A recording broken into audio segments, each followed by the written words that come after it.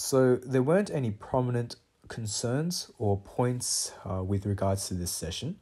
So I think I'm just going to talk and give some commentary alongside the uh, exercises that I did in this video. So I started off with the um, warm ups. I tend to work with planche leans, planche push ups, and uh, a lot of resistance bands uh, for my rotator cuffs. That is a staple in all of my workouts. Uh, any form of upper body work, I always warm up my uh, rotator cuffs.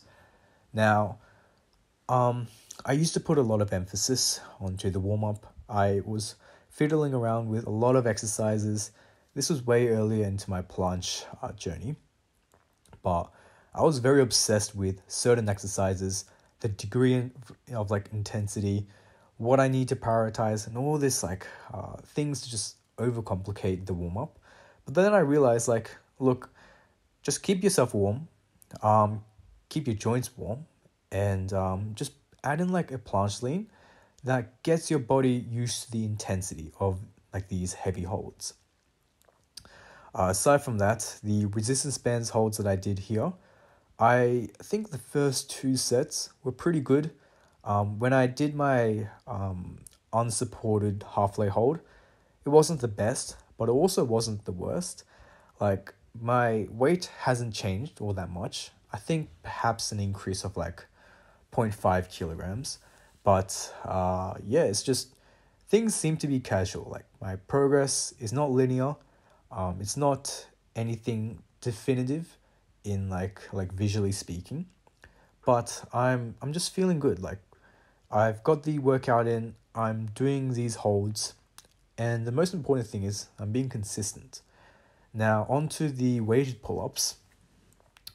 Uh, I had to do 32.5 kilos for four sets of four. And these pull ups, I'm actually pretty proud of. I like, if you kind of like see where the bar is aligned, you can see that like my chin goes completely over the bar. And I was pretty proud about this because in the past, uh, like when I say in the past, I mean like what two months ago, my pull ups were very mediocre. Their form was to just purely get my chin over the bar. Um, instead of getting it to touch my neck, and I think there are some benefits to like full range of motion. Like sure, I feel more uh, like soreness and like it feels like I'm more complete, but I don't really think there's anything more to it aside from just ego and like um just to like you know reassure myself that i'm doing a full pull-up. Uh like if i'm being honest yeah there's a bit more engagement like with my biceps to lock to lock out. But uh yeah it's just just like an observation and something i'm changing up. The shoulder press however has been improving quite a bit uh, 80 kilos, I hit for a double. Like, I think um, in the past, like just recently, my shoulder press has not been the best, but I was pushing pretty well with today. Seems like my weighted work is improving, but my calisthenics is just maintaining itself right now. The weighted work is meant to help aid and transition to the planche, but um, you know what? It's still progression. So I, I can tell that I'm getting stronger. It's more about like directing it to the planche.